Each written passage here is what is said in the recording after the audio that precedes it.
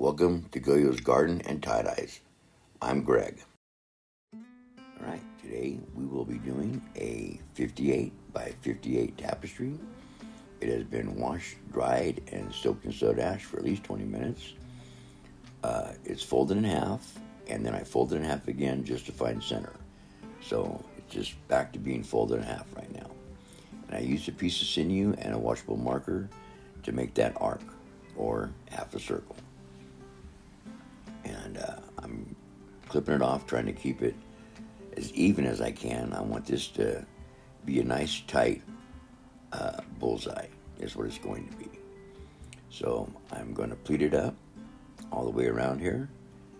I'm guessing they're about maybe an inch plus starting out. And I was trying to keep them just one pleat all the way across from the tip to the other end. But they do get bigger, and it's a lot harder to do than what I thought.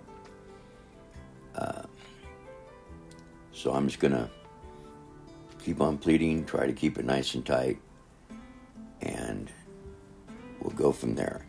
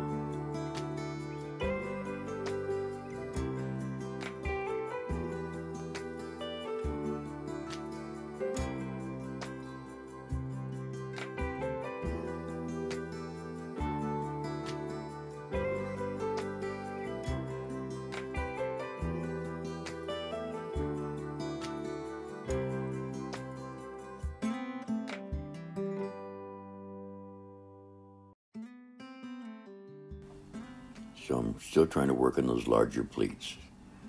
Definitely a little uh, learning curve on those. I'm using a piece of sinew on here because I wanted to do another one with sinew, so I thought, okay, I'll throw this in the middle and see how it looks. And the sinew puller I got from Boredom with Jenn, and she's having a discount right now, 10% and the code word is belladonna. Uh, if you put that in, you get a 10% discount, and it's only good till October 31st. Yeah, they're very nice, and with the caddy, it's even better. Okay, so I'm just going to continue on here. The it, I'm doing lightly in string. It's not very tight. It's just to hold it together. And uh, it seems to work pretty good. I'm getting better with the string, I think. It's uh, a lot of fun, actually. Okay, it's the final touch, and we're going to start applying some dye. And this is going to be an ice dye. First color we're doing is lemon yellow. Then we're going to do soft orange, Chinese red, amethyst, alpine blue, lemon yellow, glacier blue, royal blue, and lemon yellow to top it off. So I actually have this on my hot water irrigation rack. It's slightly inclined, and I'm using my dollar store Tupperware, or I guess not Tupperware, plastic containers, and uh, to hold the shirt in place. They're pushed up against the backboard and then they're clipped at the bottom. And um, yeah, instead of using tin foil or something like that, I just pull these out and they seem to work okay. And so I'm just going to continue on spreading the dye.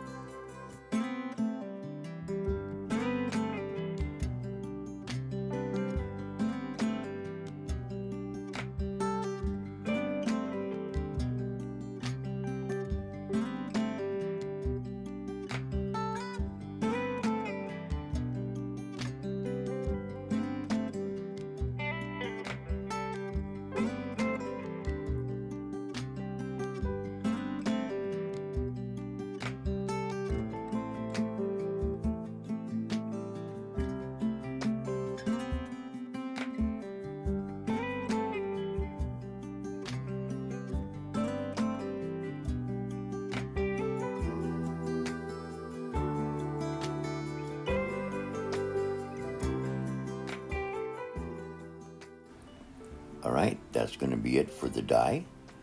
And I applied soda ash to it on top. I didn't get that for some reason. I don't know why. And now the ice is going on. Uh, I know you're used to seeing me using a dye out of the bottles, but this was straight dye. That's why the uh, soda ash. And the little container seemed to be working pretty good, holding all that in place. Uh, only a couple ice cubes actually fell through. And um, it's already starting to melt. I like it. Definitely like the colors on it when it's melting. It's pretty cool. Alright.